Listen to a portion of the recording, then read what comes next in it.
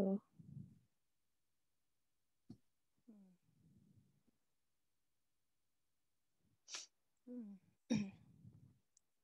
Hello. Have a look at all of us. Check in.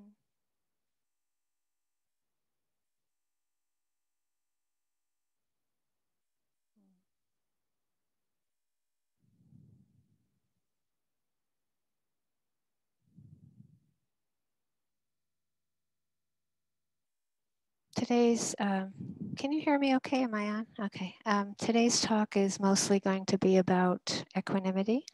Uh, it's, it's um, finishing up the seven factors, the tranquilizing factors of calm, concentration, equanimity, but I decided to lean into the equanimity part a bit more. I think um, the theme is is the attempt that we all have of being con- connected with our attention and kind, and how that connected kindness, um, the continuity of it, can bring uh, more, more and more peace and liberation.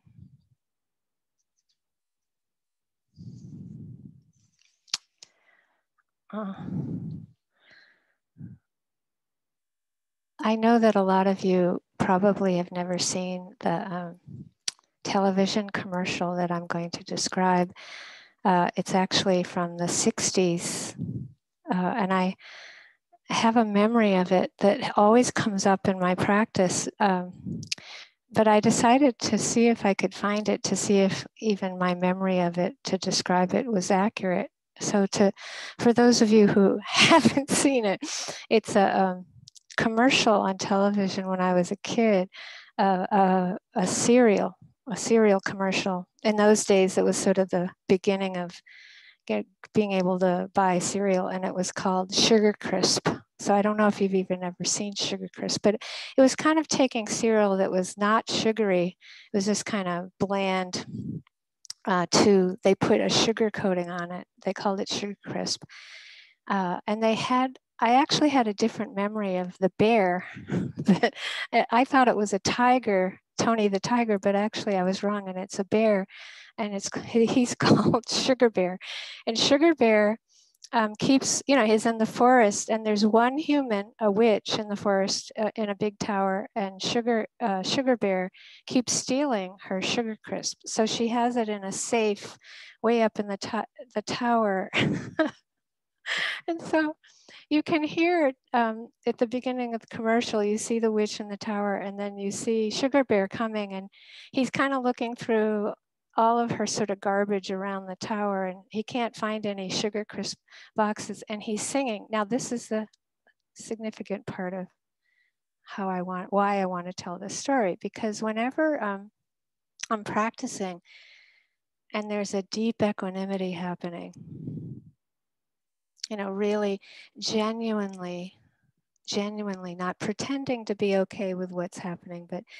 or faking it, but genuinely understanding that whatever is appearing okay is okay, right? It's a huge difference between trying to talk ourselves into that things are okay the way they are versus that we actually understand that we don't have control and that they actually are okay the way they are because they're appearing right? There, there's that just that deep um, peace. It's the the acceptance, the peace of being with things as they are. And when that passes, um, I think for all of us, uh, there's a sense that um, we're not going to be okay. And the reason for this is because uh, the best image I have of that is always the flower bud that you know you've heard over time. That image of our practice and our heart, mind, body being like a closed flower bud, and when the flower bud opens, it starts to open to joy and sorrow, pain, pleasure, neutral equally. It's like we we can't make a decision in practice to start to open and oh, I'm just going to open to the good stuff. I'm just you know I'm just going to I'm going to be able to pull this off. You can't. You you're you're opening to it all equally, and sometimes it takes being able to open to the joy and the pleasant before we can um, be with the pain. It often will give us the strength and courage. It's, a, it's just a natural process. We can, when we open, we can close again. If, if equanimity isn't present, the flower bud can close, as we say, indifference, um, not caring, or we can try to protect ourselves with um, the appearance of the pain with fear or anger, you know, that, or we can, when the pleasant disappears, we can hold on to the pleasure. Uh, but of course, um, when we start to understand this process, we understand that equanimity is the deepest protection, that the wisdom is the deepest protection, the peace with things as they are. It's genuine. We actually do feel okay. We do feel reassured so in my practice, uh, I didn't understand any of this, of course, but I, if I had some equanimity appear, when it, it would disappear, it would have that bittersweet quality, and I would take it so hard. I would take it so personally. I, it would be like I would be wailing inside, just the, the longing for that back, because I knew that that was the only time I felt okay so of course I wanted it back. And over time, I started to um, know that I had to take it less seriously, that I had to lighten up. And this commercial started to appear. Now, I don't always like to give yogis commercials, but I don't think there's that many out there that are actually as old as I am. You had to be a kid in the in the early '60s. Um, so, so the um, the sugar bear is coming along and he starts singing this refrain, which is what I'll do. Can't get enough of that sugar crisp, sugar crisp, sugar crisp. Can't get enough of that sugar crisp. it keeps me going strong. And I would sing that, you know, I still do it when the equanimity passes. It's like, it's just, just lightening up around. Well, of course we get attached to that, right? We can't get enough of that sugar and it's it's so funny like it always makes me laugh so hard that i get over like okay it's gone you know? And you do the best you can to work with it. Uh, you can look it up. It's called vintage sugar crisp if you're interested. Maybe not during the retreat. Um, very important to understand that until we're fully enlightened, of course, we are not going to like it when it passes. That, and that we can start to value the experience of equanimity. I like to think of it as a kind of grace. You can't make it happen, but the more you put your time in of practice, on retreat, daily life, you start to, to learn again and again and again. You go through experience over and over and over, over and over and over and over and over until you're not chained to experience, until you're not believing that there's a certain experience that's going to make you happy. That all experience is worthy of our attention, that impartiality So the teacher Sri Nisargadatta Maharaj from India said that consciousness, when tainted by memory and expectation, becomes bondage. Pure experience does not bind. Experience caught between desire and fear creates karma.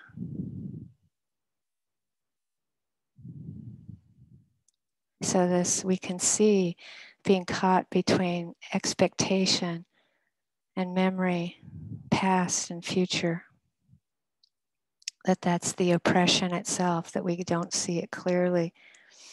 And I think that that sense that um, understanding that this is about purifying motivation, that we're, when we're identified with aversion as mine, or we're identified with fear as mine, identified with attachment or craving as being mine, or identified with delusion, ignorance, confusion as being mine, that um, that is the samsara.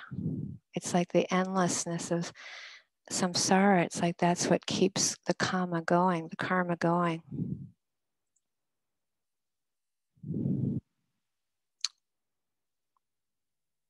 Often, if we're lucky in life, if we see a, a boat on still water and it's passing and it leaves a wake, it's always very um, moving to understand that we're like a boat walking along, you know, still walking. Everything we do, that how we're motivated, every every action that we're motivated by fear, you know, desire, delusion, that we're leaving a wake of of karma, of that kind of karma. That it, that's how powerful it is. And when we're motivated by the Brahma Viharas, loving kindness, compassion, empathetic joy, equanimity. When we're motivated by wisdom, there's another totally different wake we're leaving. And when we're not identified with any of it, there's no more karma, no more samsara, that end of the dream.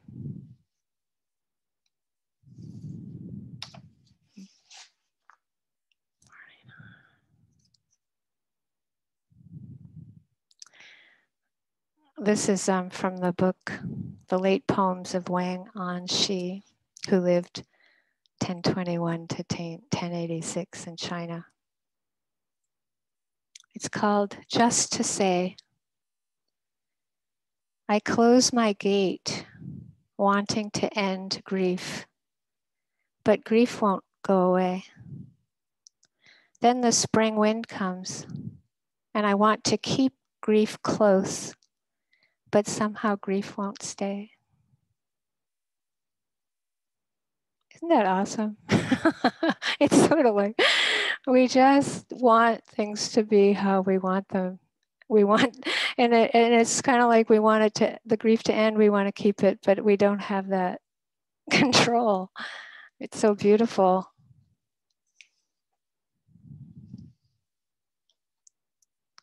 So, one aspect of the practice is that we go from, understandably, a very self centered approach to our um, way of being.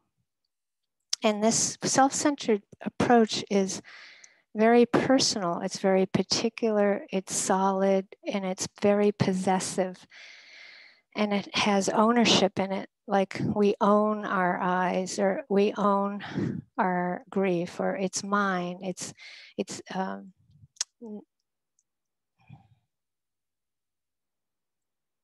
it's so self-centered the orientation and the practice is meant to, to move toward not to reject that in any way to honor it but to move more toward the understanding that um, the experience isn't personal, it isn't possessive, it isn't ownership, it is uh, universal and boundless. So I'd, I'd like to describe, so in that way, it um, with equanimity present, our awareness is impartial. So we will, we understand that that those sensations in our knee are as important as happiness or the sound is as important as grief or whatever is appearing, no matter pleasant, unpleasant, neutral, that there's an impartiality, a choicelessness. And the choicelessness and impartiality isn't based on, uh, the interest in it isn't based on a personal wish. And that's that joy we were talking about today and yesterday, that joyful interest, which it isn't um, dependent on pleasure or pain or neutral. That's the gateway to awakening.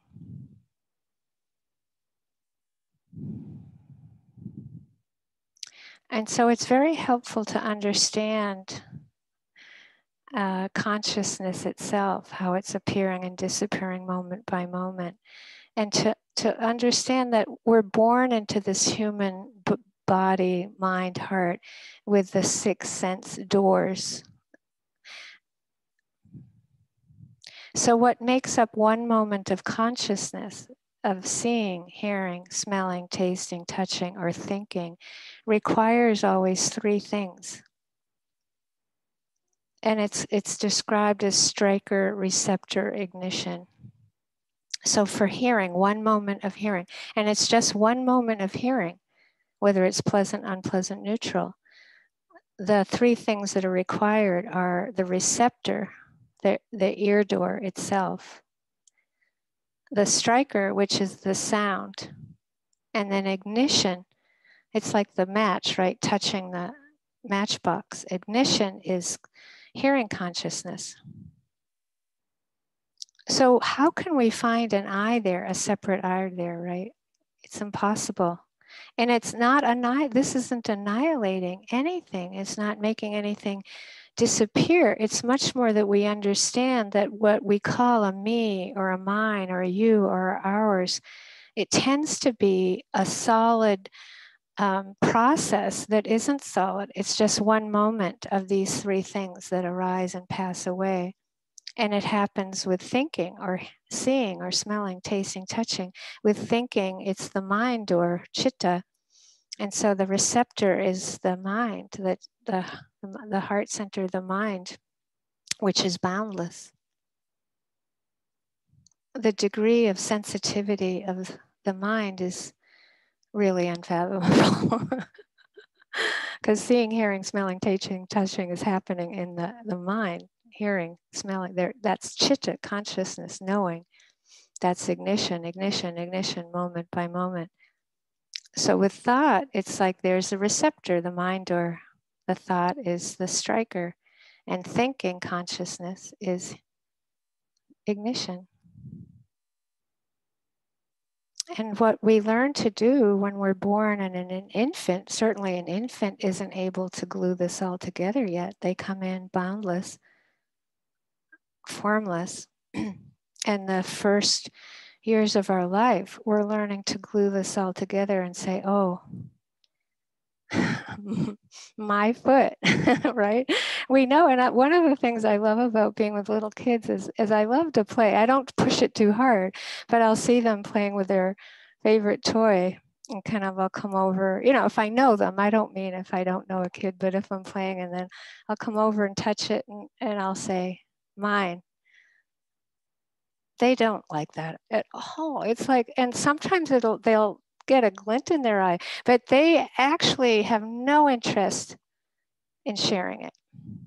And they shouldn't. They're, they're, they're mostly they're at the age where they're supposed to be learning these healthy boundaries. They don't have them you know, so that like they'll go, no, it's mine.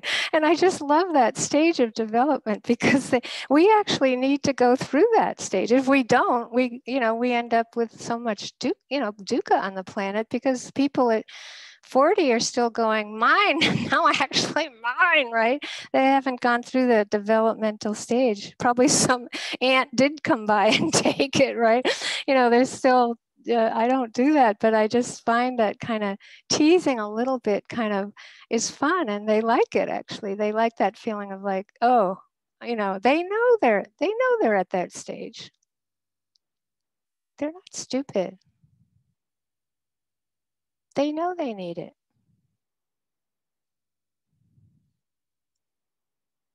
So the striker receptor ignition happens simultaneously in one moment, but they're distinguishable. And the, the training in meditation practice is, is learning how to be mindful of all three. So we understand more and more deeply that what we believe, what we've learned to believe to, to try to find a healthy sense of oneself uh, developmentally, what we believe to be mine or me or mine isn't on this other level you don't reject it. So sometimes, if this very deep old anger appears um, in the mind and it really feels like mine, you don't hit yourself and say, oh, no, not mine yet. You really try to experience it unfolding as mine. And that respect for that and that interest in it will eventually shift to like being able to appreciate, oh, on this wise level, it isn't mine. But we, when, when, especially if there's been denial in any way of something then you have to go through that process of the respect for it unfolding on that level so that then we can open up to that deeper level of understanding of wisdom. So when we when we can understand even a little bit when we're hearing or seeing etc i think that um, it's such a gift because we get to see oh this is actually insubstantial this it, it's not possible to control it. It's going so fast. We are gluing it together. I i i uh,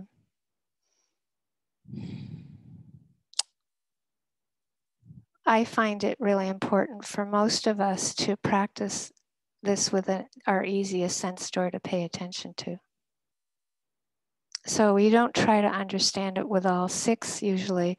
It takes time to understand it with the easiest a little bit and a little bit more and then you start to see oh I can uh, I can pay attention to this with the breath or some physical sensations or hearing.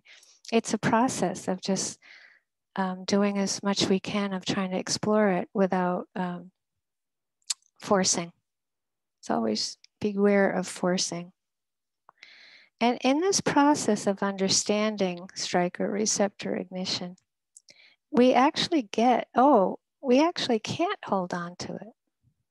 It is uncontrollable. Do you see the difference? It's like when we understand it's uncontrollable, that's what cuts through the belief that we can control it. It's not a um, something that just goes through the thought process. It's very visceral.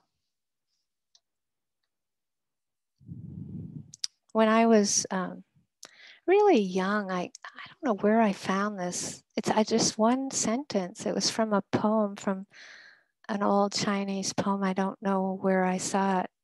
Uh, and I haven't been able to find it, but the sentence was uh, the blue of the sky touches my shoes.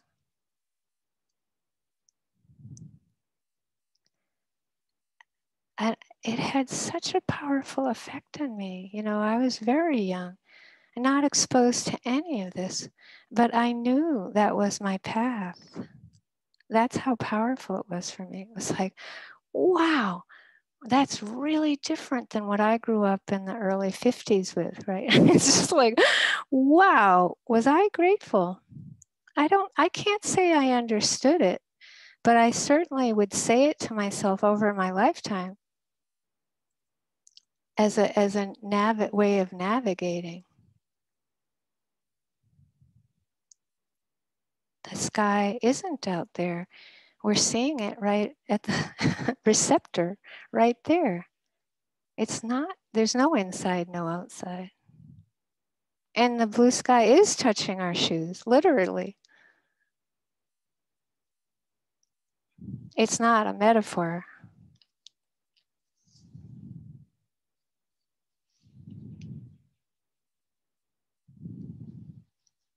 So we come from this timelessness and boundlessness and we we navigate through coming into form and um, personal hopefully learning personal healthy boundaries which a lot of us didn't. And so it's like a process of actually having the practice help us find that. And in that process i think we really find um, stewardship. And so that like you know you'll hear as the uh, ecology movement, you know, swept along. It was like this shift in terms of ownership of land to steward, stewardship of land. But really, when we take birth into our body, it's the same. It's, it's just a part of the earth, sky, universe that we're born into that we actually have responsibility for. That's the karma no one has more responsibility for our body, mind, heart than us. And that that opening up beyond that sense of a self-centered um, boundary to again with the practice it can help us if we're not so good at stewardship of ourselves the practice helps with our own body heart. Maybe we're more interested in stewardship of anything but our own body right? But if you practice it'll heal it your body will eventually scream for attention,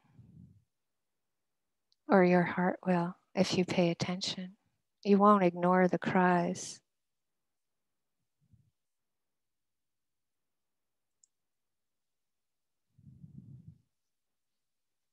Sri Nisargadatta says that all consciousness is sharing. And again, just seeing, smelling, tasting, touching, thinking. It's like one moment, all all is included in one moment.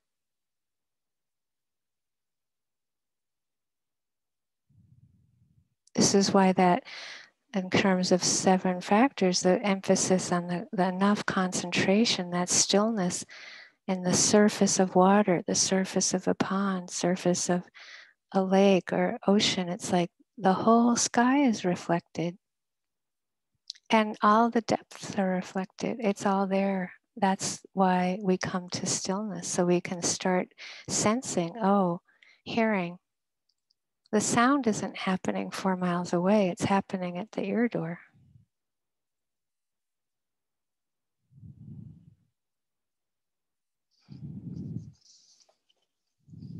Hmm. I don't know if this is.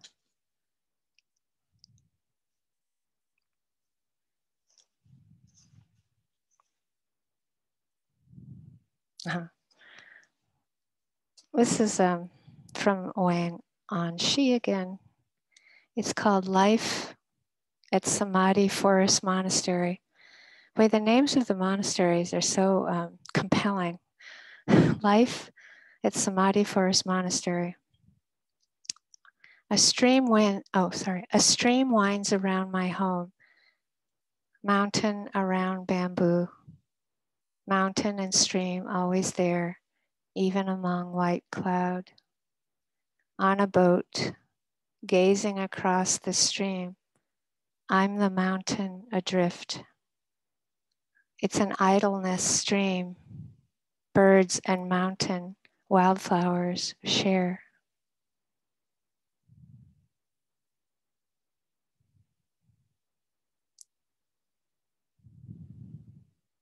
I'm the mountain adrift.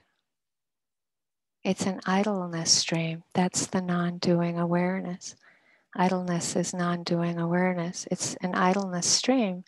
Birds and mountains, wildflowers share that we all participate in.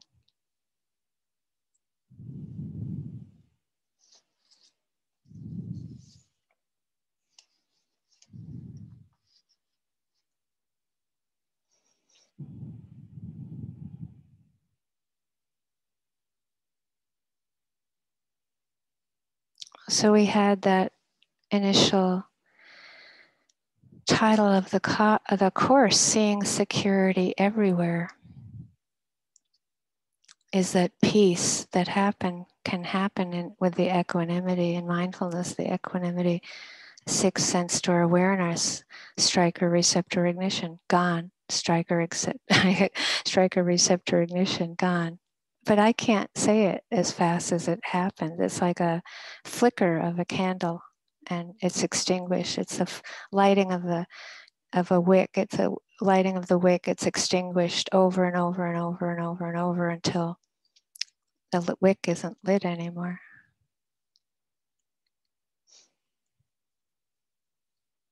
So when we're when we really aren't motivated by greed, hatred, and delusion, that absence, that absence of the presence of greed, hatred, and delusion, there's no longer the controller and controlled. Not there's no doer, there's no controller. That's all a doer is, is greed, hatred, and delusion. And and as we again, it's a gradual understanding of this. We we actually get a better relationship with greed, hatred, and delusion a better and better one, not the sense that oh, that they're so oppressive. We start to see that oh, it's just a moment of wanting or a couple moments of wanting. We don't have to buy into the object of the wanting. We don't have to buy into the object of the fear. we just experience that movement of the fear through our system like we would, again, the sound of a bird happening or a cloud in the sky happening. We relate to the all experience just like we would the sound of a bird. We relate to all experience as we would a cloud going through the sky. That's the seeing security everywhere or the impartiality and it as as as you can see in yourself like there it requires this um, willingness to explore this to not be afraid of identification to not be afraid of the experience of when something feels like mine so intensely and it feels imper- impermanent to not be afraid of that to see that as all part of oh oh that's what a little me is. I get it. That's all it is. It's okay. And actually to really have so much metta, so much compassion. That's when we need the most metta, and we're that's usually when we're ready to kick the can down the street, right? You know, little me, you know, instead of like, oh, little me needs a lot of compassion and care.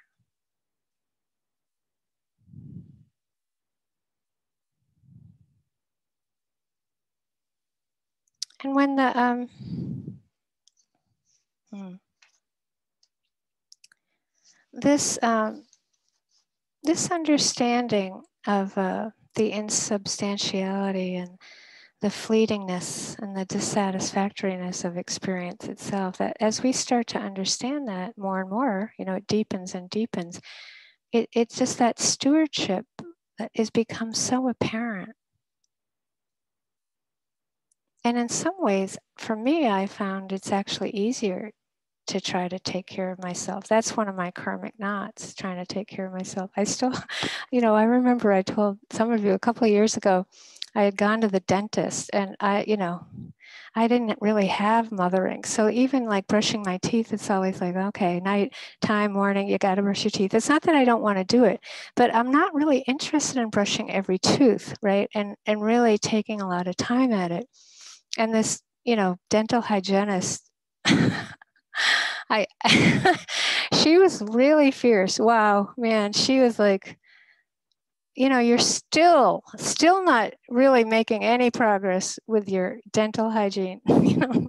I'm like what are you talking about? It's like i floss like i brush now i got an electric toothbrush. And she's like well you're you're really not taking enough time with every tooth with the electric toothbrush. And i said well how much time? And she's like a minute you know like really like you know do this thing. And it's like and it's astounding to me. It's like really? Like and then i'll be driving away and i'll be thinking i can spend hours weeding marigolds right? I can spend forever in the garden, but like with my teeth, you know, and I love my teeth, I care about them, but it's just like such a block. But I start to see then, you know, I walk out of the garden and it's like ding dong, ding dong. You actually, actually aren't impartial. Right? I have to remind, oh yeah, the happiness of taking care of myself. I, I tend to have a cynical voice that can say it sometimes. Oh yeah, the happiness of taking care of myself, you know, but it's like, okay, that's where I need work. And I think for all of us, maybe that's not your teeth, but it could be your emotional world. It could be some aspect of your emotional world, or some aspect of your physical world, or perhaps relational right with other people. It's like if you know we're not born perfect we're not able to attend to all of the sixth sense or moment to moment awareness perfectly. It's like learning how to do the best we can. And that that's really wanted, where i wanted to end up with this part of the talk. It's like to do the best we can with taking care of ourselves and others that that includes ourselves others the planet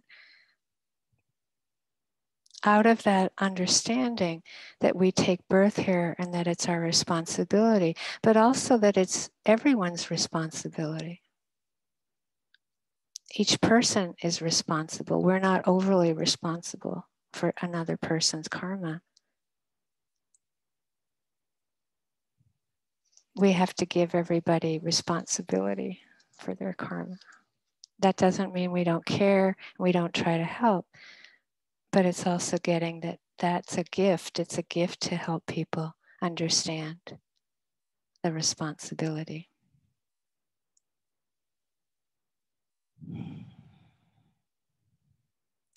And then there's the karmic knots. The, the, the, steward, the stewardship for the karmic knots, of course, tends to be the nature of a karmic knot is that we don't really want it to be a lifetime learning, right? It's like we really do believe that we should be able to get rid of it somehow. This fear of death or the fear of rejection or, you know, wanting more or whatever the karmic knot is or the several karmic knots, often they come in a cluster.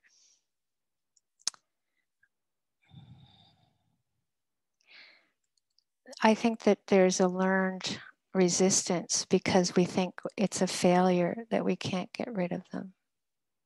That somehow we believe more deeply than anything that a karmic knot. Maybe it's shame, but it's like we we just think that the practice should have helped us get rid of it instead of what? get a relationship of more and more wisdom and love with it.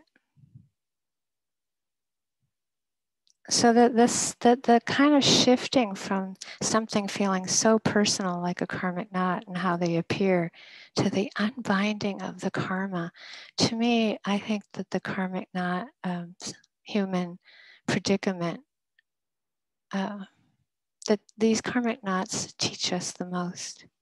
They're so humbling. They're so not under our control. It's awesome. You know, that, that you have to follow them. You have to have such grace and such tenderness and care and exquisite patience. We mostly see our impatience, not the patience, but it, it will grow. And with that growth, there actually is less need to get rid of them. There's more interest. And we do see, oh, this is my lifetime teacher. There, it shifts from wanting to totally get rid of them to total gratitude.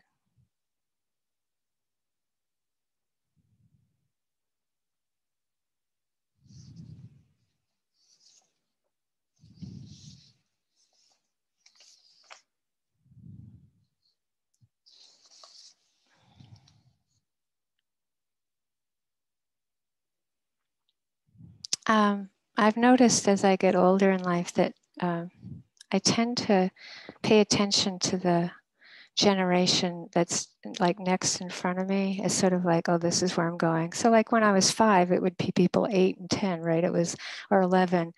And so now that I'm going to be 70 at the end of the year, I'm looking at people in their late 70s, 80s. It's like, well, if I get there that far, that wow, you know, and man, the 80s looks really um, something else.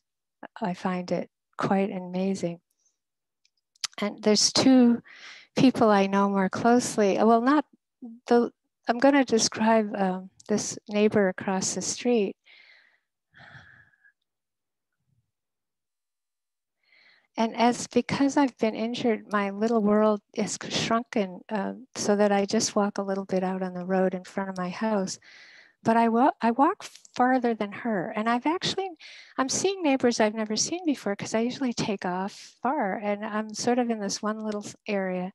and I walk to the left when I leave the house rather than to the right. So there's this whole new world opening up for me. Um, so it turns out this this woman, uh, I've just discovered it's amazing. She comes out her driveway and there's a little hill there. And she walks up the hill backwards. And then she walks down. And then she walks up backwards.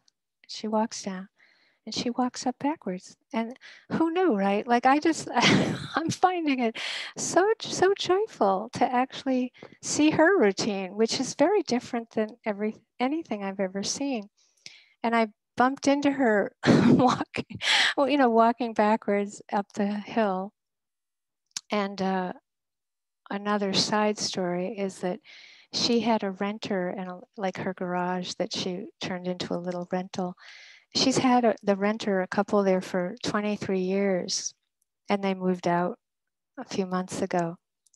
And there's this exquisite tree that growing there that was um, the man who lived there. He just loved this tree. It was so hard for him to leave, and it's just beautiful. The orange flowers on it are, are peaking right now.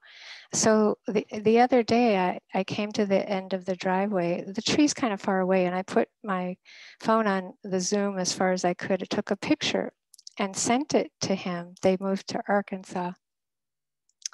Um, and I didn't know it, but she saw me taking, taking the picture. And she said, this morning, well, no, the, two two mornings ago I went by her, but I hadn't seen her going backwards. She said, "Who, who? What are you doing?" And I said, "Well, I'm sending the photo to, you know, this person who used to live here." Uh,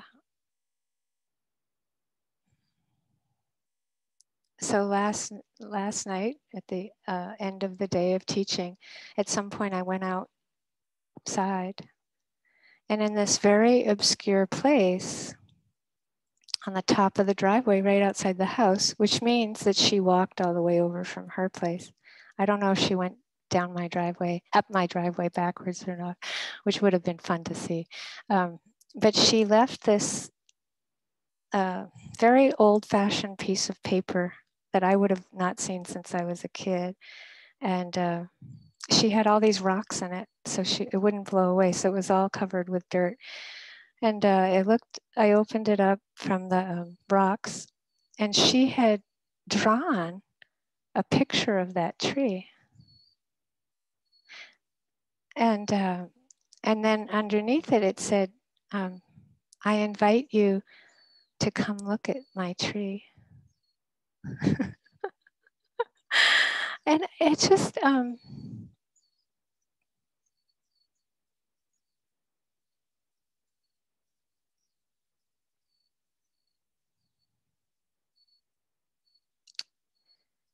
I think when we're in our 80s, this is very, very important.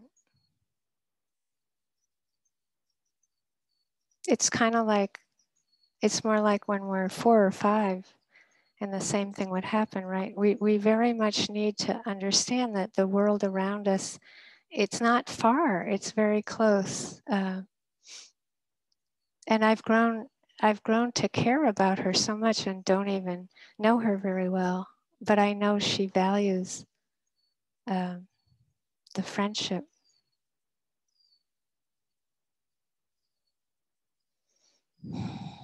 And I think that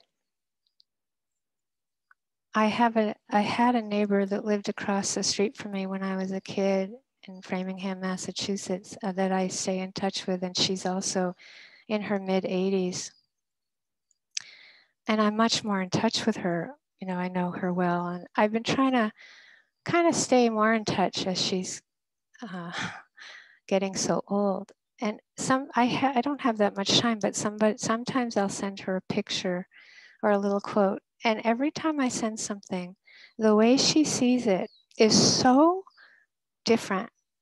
It's kind of like watching the neighbor go up and down like up the, up the road backwards. It's like she sees something that i just never see before and she comments on it in a way that's very light. But i've known her since i was 10 um, and she didn't come to that joy and lightness easily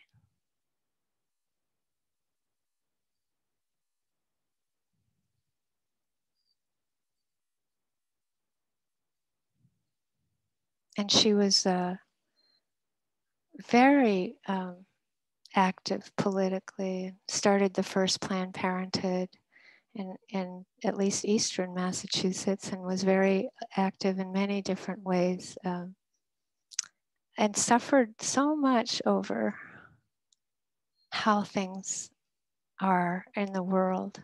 So open and so caring and suffered so much and i i never she never was able to access that joy she did a meditation retreat before i did uh, She did one in 1974. I did one in 75. And I lived in northern Maine then, and we didn't even know each of us had done it. But it's like, um, I feel like the sense of understanding that the human world actually does have a range of joy and sorrow. And I've seen this friend go from really caring and not nothing i'm not saying that was bad or wrong at all but just watching her need to actually open up to joy as she's gotten older and include the other parts of her life and the, the, the pain in the world uh, but also i sense that um, she's been able to have more equanimity and lighten up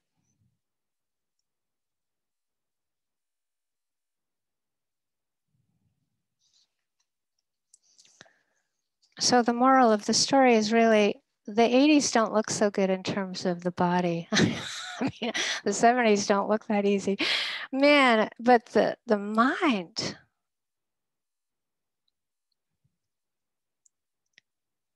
can be so much more liberated.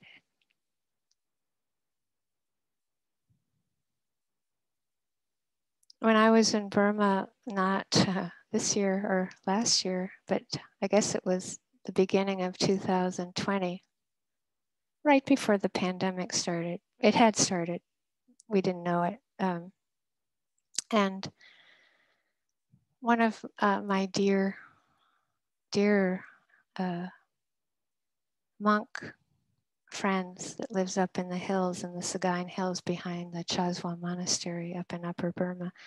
Um, I there's not a lot of the elders left for me there.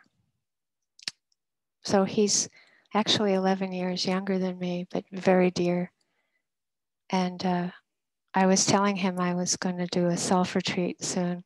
And I, I just said, he said, well, how are you feeling about it? And I said, it's getting, my body, it's getting much harder, you know? And he just laughed and he said, well, that's just how it is that's just the way it is. it gets harder for your body when you meditate as you get older. But he said, but your mind can be fine. You have to keep remembering your mind can be fine. Like, yes, Ada, yes, Ada. But it's really important to, re- to see that and remember that.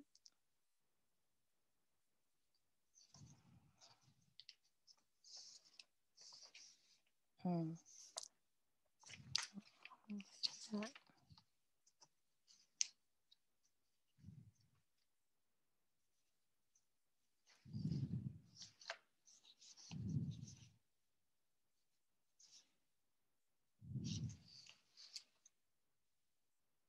So when we ask ourselves you know where where you know in the practice or in daily life it's like what can i do to lighten up?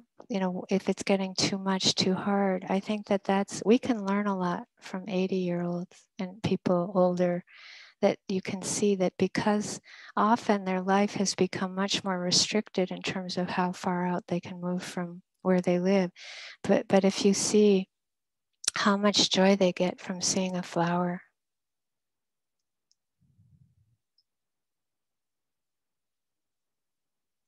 Or hearing one bird, not 5,000 birds, that, that it does become more singular like that. And, and uh, we can learn from that.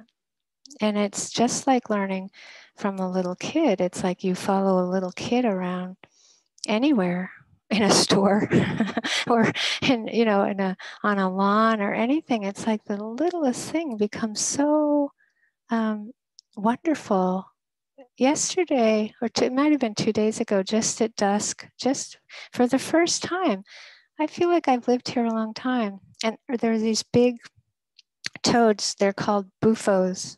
They they're not um, from hawaii I'm not sure which country in Asia they're from, but they're very big. Uh, and for the first time, I saw a newborn bufo. It must be spring. I mean, it seems like it's summer, but there still seem to be little beings being born. But this was smaller than my thumb thumbnail, just my not a thumb. It was smaller than my thumbnail, probably half the size, very camouflaged. It was in the drought colored grass, and I saw it jump. it's just like, wow, right? So we might think, well, what does this have to do with anything? But actually, as we've been saying, it's like if we're if the heart is closed and we feel hopeless or depressed or even the, that stream of dissatisfaction that the Buddha taught runs from the runs through the human mind. Why are we surprised by it? It's the third army of Mara. The third army of Mara is that there's a stream of dissatisfaction that runs through the human mind. Why, why, why do we need a little discipline to find some something that will lighten us up. It's a discipline. It's not just to grab us and take us, it's to be something we actually make space for. And sometimes it takes a long time. I know I have a friend in New York City, and she makes sure she looks at the sky out the window. Now, there's a lot of buildings but there's also a lot of sky she can find. Sometimes she has to walk far to find the sky, but she cultivates it. It's, it's so important to remember. We make time for so many things, but do we make time for a little joy? And how that affects liberation, right? The, the, the connecting the kindness, the equanimity. And where in that is there a need for sometimes remembering that this human world has the joy and sorrow? It's not a form of control, it's a form of the heart surviving.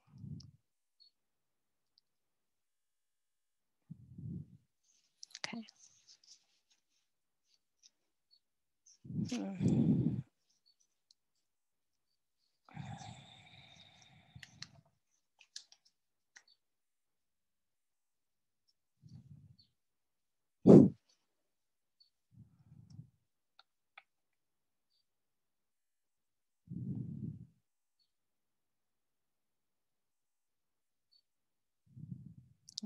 That one. Okay. No, not that one.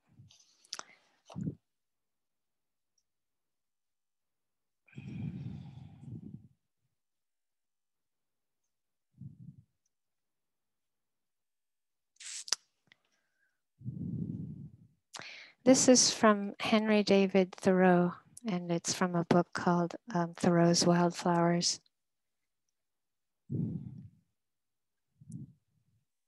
It's from um, a little ahead of the solstice, July 2nd, 1852.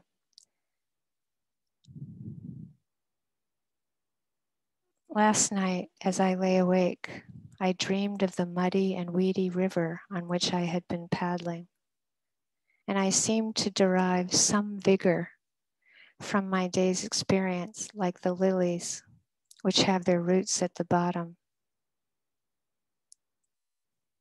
I have plucked a white lily bud just ready to expand, and after keeping it in water for two days, have turned back its petals with my hand and touched the lapped points of the petals when they sprung open, when they sprang open, and rapidly expanded in my hand into a perfect blossom with the petals as perfectly disposed at equal intervals as on their native lakes and in this case, of course, untouched by an insect.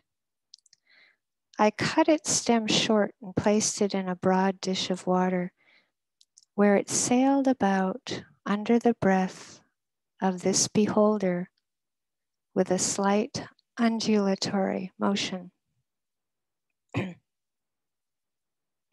the breeze of this half suppressed admiration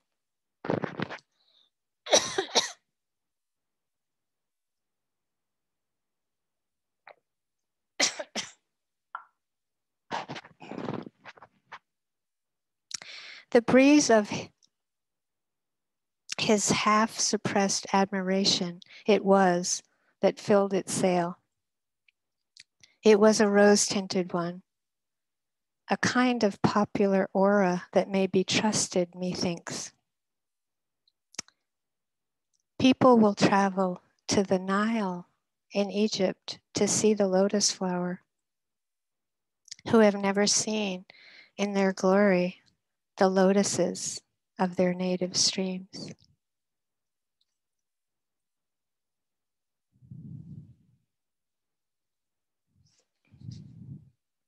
Liberation is at hand in your bathroom.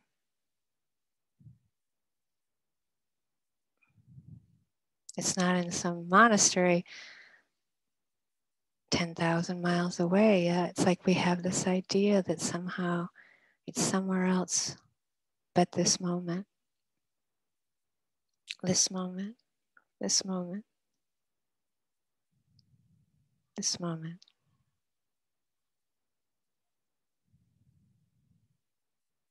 Let's sit for a minute.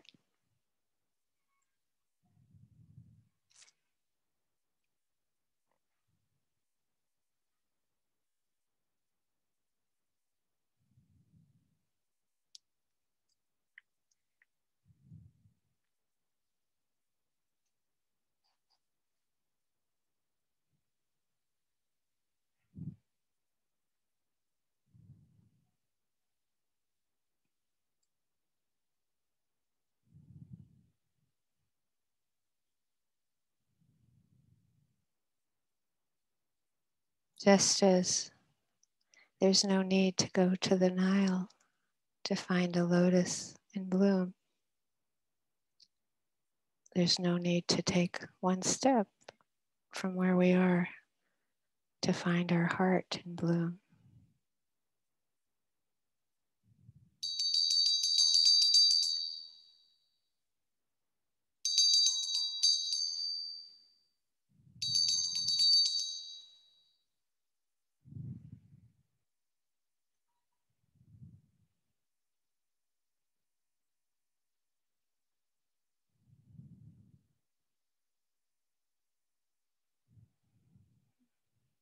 So we have time for practice another half hour or so before the um, metta chants it, that it's so important to try to do all together.